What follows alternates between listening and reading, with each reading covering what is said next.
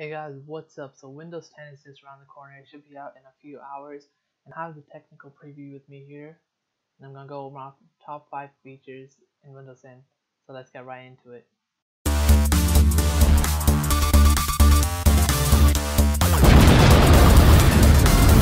So number 1. Number 1 has to be the start menu. Now this was a feature that almost every version of Windows since like the second version has had except for Windows 8. Now, this was the, probably the biggest mistake Microsoft could have made was getting rid of the start menu and coming up with that little I don't know what they called it, but it looked basically like this. And instead of having a start menu, it was all of this. And that was really annoying, and you couldn't really find what you wanted. Now you have the start menu again, with all the apps and everything so you can scroll through what you have installed and stuff. And the neat thing is like what you install is kind of in, like um, organized in folders. So for example Google Chrome is in its own folder. If you have other files that come with the program they're gonna be in that folder. For example the program that I'm using to record Cam Studios it has its files in here. Pretty simple.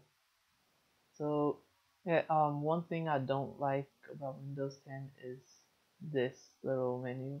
I think you could have done without it.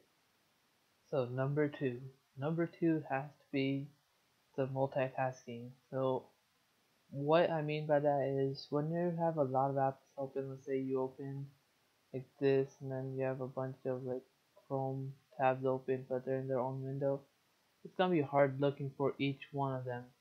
Is once there's a lot, you're gonna have to go through each one of them, and that gets annoying. So what you can do is you can click on this little icon right here. When you click on it, it displays everything that's open. So I have no idea what the limit of this is. So um, yeah, so it makes it pretty simple to find everything. I'm gonna try to open as much as possible so I can see if there is a limit or not. So I'm just gonna go through opening everything. And I want to open everything in a new window. So there's a lot of windows, not just one window that shows up. Alright, that should be enough. So yeah, I don't think there is a limit. It's just gonna get smaller and smaller and each thing is gonna open up. And this is a really cool feature and yeah, so that's number two, which is the multitasking. Number three, number three has to be multiple desktops. Now this makes it a lot easier when you have a bunch of stuff open and you need a fresh place to work but you can't close out everything. So what you can do is you can click on the same icon you click on the same icon you did for this uh, menu or multitasking thing and you can click on this icon in the bottom right. Which says new desktop. And it basically creates a new desktop.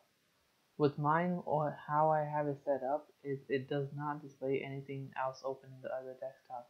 You have to change this through the settings. Um, but yeah that's pretty much what um, multiple desktop is. Now this is a new feature to Windows but it has been around for a while in OS X and well I guess Windows Microsoft is copying it but it doesn't matter as this is a must-have feature. So one thing you can do now um, which you weren't able to do in the earlier preview is if you have like multiple desktops open and you have a bunch of apps over here let's say you want to like you take this and like move it to the other desktop. And now that's pretty simple to do but before you weren't able to do that. So this is pretty cool um I don't know which preview which update preview this came in but it definitely wasn't there in the first one. And um yeah this is basically multiple desktops. So number four. Number four is the snap feature in Windows. Now we saw this in Windows 8 and I think it might have been in Windows 7 as well but basically what it was is you drag your um, your program to the left or to the right and it snaps in place and that was it then like everything else will be open like that but now what it does is basically when you snap it, it suggests you to snap these two. So let's say I want to click on, oh, they're all documents. So click on that, it snaps that in automatically as well. So that this is a pretty cool feature. Um, it's not that impressive. It's it's been around for a little while. Um, they just had to do a little bit of work to get that in there. But another cool feature within the snapping thing is you could snap to a corner and it'll size down to that corner. And then it still suggests you to snap something else in there. But you can. What you can do is have up to four different windows open at once using the snap function. So this is really productive feature and I'm glad that they did put it in there and not ignore it. So number five. Number five is a feature that Microsoft could have left out but they included anyways. And it's a really handy feature and that is notifications.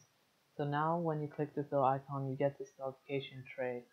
Um, which is really helpful for when you get those little like notifications on the right right here um, like this wait if I plug I plug something in or unplug it, um, it shows up. I don't know if it's gonna detect this.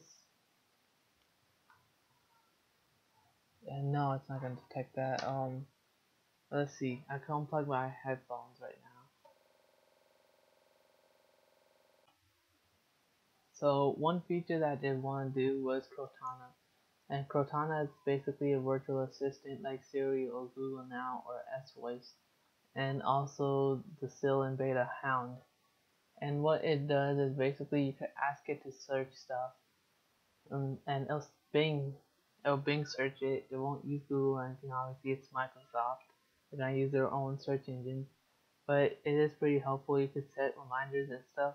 And a reason why I did not want to do this was because it's not complete there's a lot more that needs to be done to make it complete. Right now it's super buggy and oh we have a couple hours left until the next like until Windows 10 is actually released and I feel like they rushed it and they didn't put time into it.